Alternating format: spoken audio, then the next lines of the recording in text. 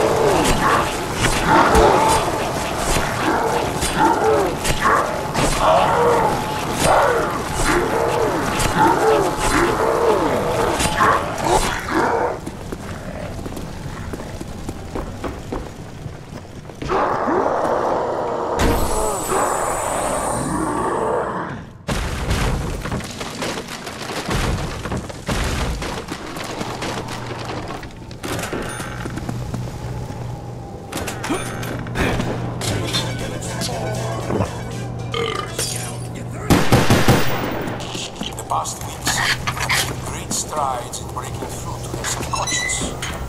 I have had the projectionist may